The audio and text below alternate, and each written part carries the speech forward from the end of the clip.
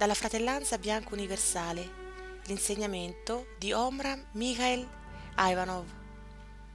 Il ruolo del Sole nella vita spirituale, la ricerca del proprio centro. Il nostro Sole è il centro di tutto un sistema planetario che sostiene, organizza e vivifica.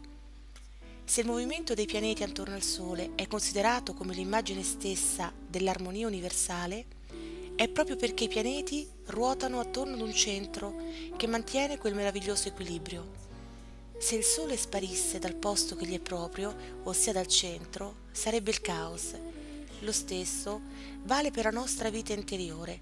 Finché non abbiamo un centro che mantiene, equilibria e coordina i movimenti della periferia, cioè i nostri pensieri, i nostri sentimenti e i nostri atti, non potremo avere una vita ed un'attività armoniose e costruttive.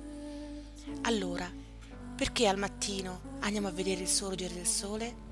Per fare un esercizio di grande importanza, guardando il sole, sforzandoci di identificarci a lui, a poco a poco troveremo il nostro centro. Il sole ci insegna la religione e la fratellanza universale. Ora bisogna andare verso il principio universale che è l'origine di tutte le religioni e decifrare il simbolo di questa religione universale, il Sole. La religione del Sole consiste nel dare e nell'unire, poiché il Sole illumina, riscalda e vivifica tutte le creature.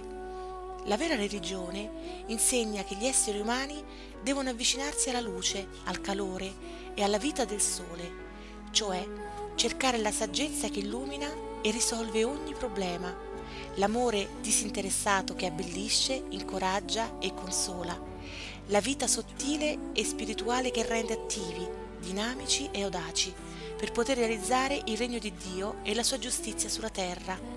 Ecco perché nessuno può combattere questa religione. Se si cerca di distruggerla, si distrugge se stessi, perché ci si limita.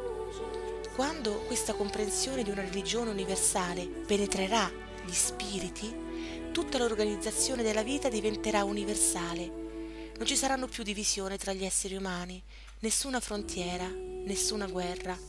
Bisogna che tutti accettino la religione e la fratellanza universale che ci insegna il Sole.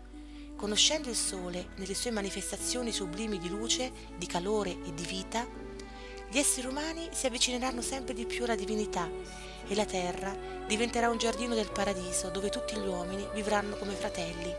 Il sole come simbolo della vita divina in noi.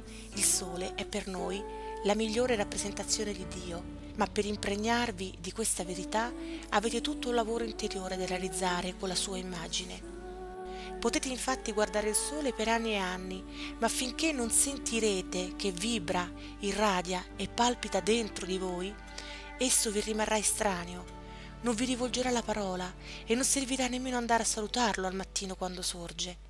Verrete riscaldati e vivificati un po' e riceverete qualche caloria, qualche vitamina, tutto qui attraverso il sole fisico dovete sforzarvi di trovare quel sole interiore che è il segno che la divinità abita in voi. Ed è così che un giorno non avrete più bisogno di alcun intermediario tra voi e Dio, neppure del sole. Sarà in voi stessi, nel vostro sole interiore, che lo troverete.